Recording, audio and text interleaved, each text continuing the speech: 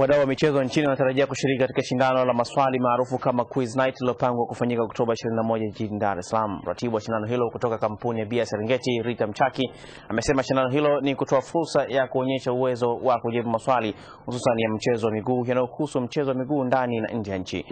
Watu mia tatu watashiriki katika shindano hilo ambapo mshindi atanyakulia shilingi milioni moja.